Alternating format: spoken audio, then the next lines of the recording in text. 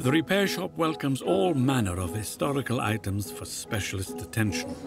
And today sees another example. Meteorology and climate student Ollie Millen has brought a scientific curio for mechanical whiz Steve Fletcher. Hello, Hi. I'm Steve. Hi, Ollie. Nice to meet you. Hi. Pop uh, your box on there. What have we got? Um, it's uh, Richard Frères barograph. All right. The barograph is a Victorian instrument that predicts the weather by measuring the air pressure in the atmosphere. A barometer that draws a graph. My uncle gave it to me, and he received it uh, from an elderly lady whose late husband um, was really interested in meteorology.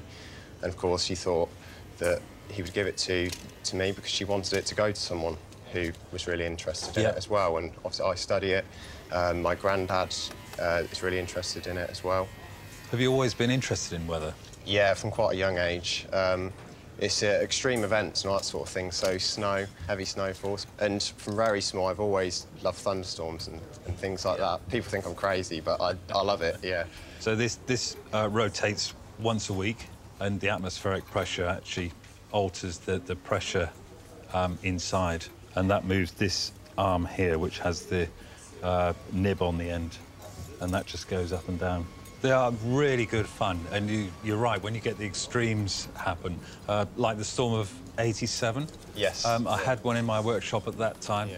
and, and it drew a, a line straight down the graph. Yeah, yeah, straight. Uh, it's an amazing event. yeah, huge drop, yeah. So it's, it's good to record those events. Yeah, yeah, absolutely. It's a really nice um, quality piece. And, and what would you like me to do uh, with it apart from get it going? Would, you- would you like it all cleaned up? Uh, yeah, that would be great. Yeah, fantastic. That would be brilliant because I know it has some marks in it in some places and maybe some of the, the woodwork's bashed. Okay, I think that's, uh, that's a job for Will to do. I'll do the mechanics Yeah. and he can do the woodwork, I think. Okay. Well, I look forward to um, getting this all sparkling and, and working well for you so that you can keep it in the future and, and, and enjoy uh, watching the weather. That would be brilliant. Thank you very much. Right, thank you very Thank much. you, thanks, Right. bye-bye. Bye-bye now.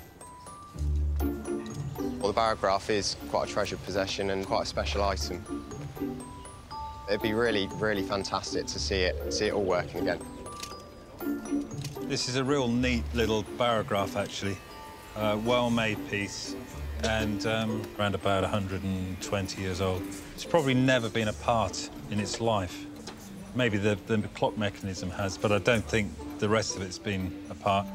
It's lovely that, that the original um, ink bottle is still there. The barograph may not tell the time, but the paper-covered barrel is turned by a clockwork mechanism. The movement should just pop out nicely. There we are. It's absolutely filthy dirty in there and obviously needs a, a thorough good clean. It's going to be a lovely piece again. Ollie's, Ollie should be very, very proud of having this. Nice thing for, for someone that actually works um, with the weather um, to, to own.